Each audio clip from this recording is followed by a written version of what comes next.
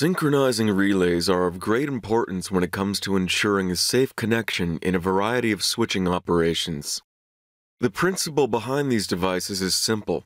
Synchronizing relays are able to measure two voltages with respect to phase angle, frequency, and magnitude in order to safeguard against the interconnection of two unsynchronized systems. For testing this type of relay, Test Universe includes the synchronizer module. In this video tutorial, we will test the active synchronization functionality when connecting a generator to the network. During the so-called active synchronization process, the relay uses control commands to adapt the amplitude and frequency of the generator voltage to the conditions of the network. At any moment, the synchronizing device is able to check whether the conditions for switching on the circuit breaker are being met. Once this is achieved, the relay issues a circuit breaker close command. If the conditions are not met within the maximum synchronization time, the process is aborted. The allowable amplitude, frequency, and angle deviations between the power system and the generator voltages are defined in the relay under test. The relay that will be tested in this example is the Siemens 7VE63. Since we are about to test a new relay type, we will open a new OCC file. This document will contain the synchronizer test module. According to Omicron's Ohm's law, we first configure the global test object. As usual, the device block will contain the general device settings such as the name, manufacturer, and nominal secondary values for the reference system. As you can see, a new RIO block is available to define the parameters of the synchronizing relay. The first tab contains some information about the systems that need to be synchronized. System 1 is always considered the reference system. Its values for secondary and primary nominal voltages are set in the device block.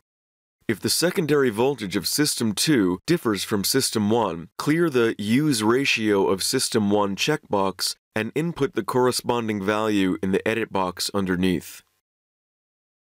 Select the direction of the phase rotation and choose the voltages that need to be compared in the Connected Voltages drop-down menu.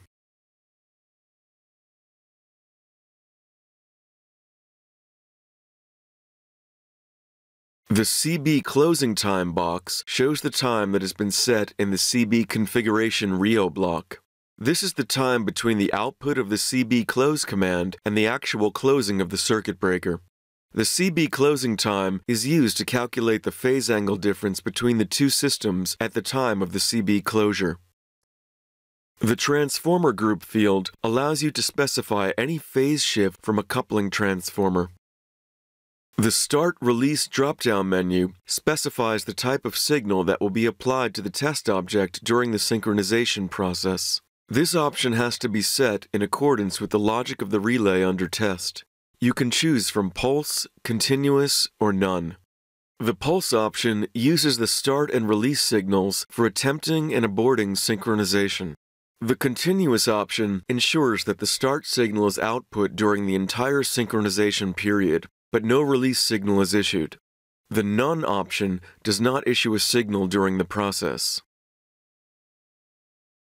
In our example, we will compare the phase-to-phase voltages of both systems. We keep the same VT ratio for systems 1 and 2. The relay requires the use of start and release signals, so we will use the pulse option. The Synchronizing Window tab contains more details about the synchronizing characteristic of the relay. Since the magnitude, frequency, and phase of the voltages have to match in both systems, we need to specify the allowable range together with the tolerances in absolute and relative values. Some relays check that the synchronization conditions are met for a certain time. The minimum synchronizing time edit box is available for this purpose. Dead zones are areas where the relay will not output any control commands. The existence and size of the dead zones depends on the relay's configuration and its parameterization. When defined in the test object, they will be displayed in the test module. However, these zones are not assessed during the test. In other words, they serve as an aid for visualizing the relay's behavior but have no actual influence on the test. The Siemens 7VE63 has not been configured to have dead zones. For this reason, we will set them to zero. The relay settings are shown in the screen so we can enter the values.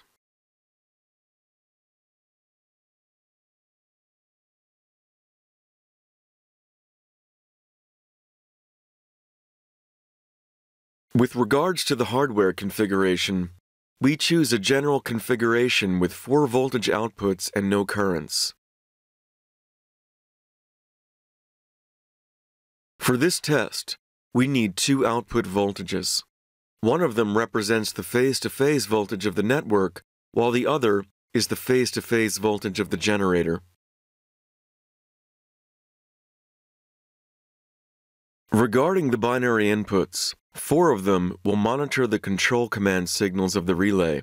That is, two signals can raise and lower the voltage magnitude, and two more signals can raise and lower the frequency.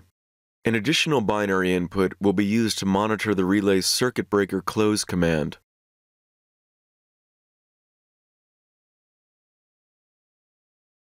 Finally, two binary outputs will be used as control signals for starting and aborting the synchronization.